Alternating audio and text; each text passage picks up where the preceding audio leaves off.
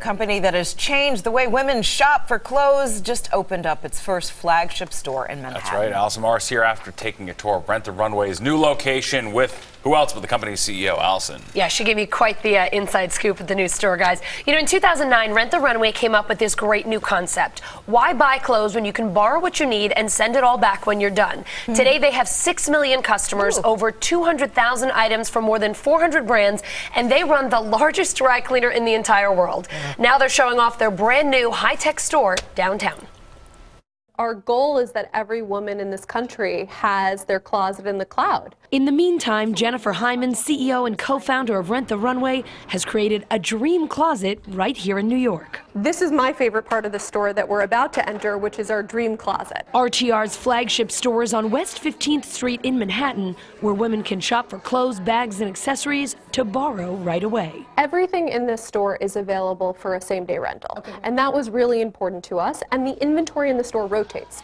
So if you came into the store tomorrow, it would be a different assortment of 4,000 dresses than we have today. Can't find something you like? There's technology to help with everything, from booking a dressing room to finding something else to wear. We have screens throughout the store where you could access the other 200,000 things we have in our dream closet. So let's say you fall in love with a style that's not physically here, we can get it for you and we can courier it to you. The store opened the first week of December, the busiest month of the year for Rent the Runway runway when women all over the country are looking for holiday outfits, capping off an incredible 2016 for the seven-year-old brand. This has been our highest uh, growth year in company history, which has been incredible. We've launched two subscription products. One is called Unlimited, which gives you a subscription to fashion every day. Another gives you an outfit of the month, and that program is called Style Pass.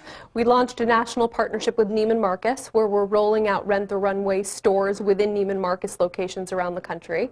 So it's been very busy. 90% of Rent the Runway customers work and have limited free time, but if you can spare 45 minutes, schedule an appointment with a master stylist. Start with these, see how, how these feel. Um, I will help you zip if, if you need anything like that. She can help you find the perfect party outfit and create a Rent the Runway fashion profile for years to come. And then we're actually saving all of the data of what worked for you, what didn't work, that you don't like to wear sleeveless things, but you, you know, always want something below the knee so that we can customize your experience when you come back to the site.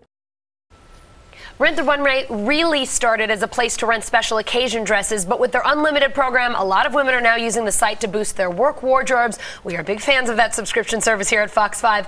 Jennifer says RTR is also hugely popular in middle America and in some smaller suburbs where a lot of women just don't have access to high fashion in their local stores, so they borrow it from Rent the Runway instead. That's a great point, right? If you don't live in Manhattan, basically you get the same stores at the mall, it's the same thing everywhere. And they'll yes. ship all over the country, so it doesn't matter where you live. And Huge. might we add, you look look lovely.